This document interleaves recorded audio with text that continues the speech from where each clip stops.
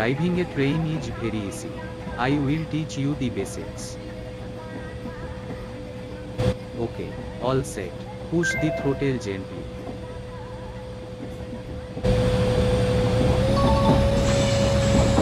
That is very good. Now keep going and reach a speed of minute.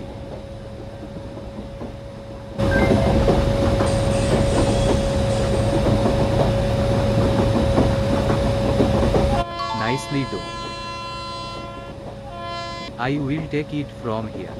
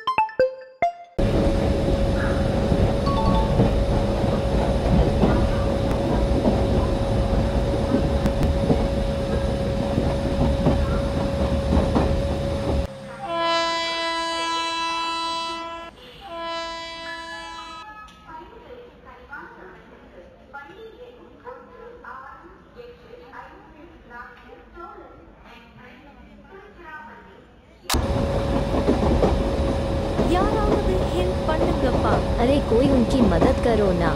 Can somebody help her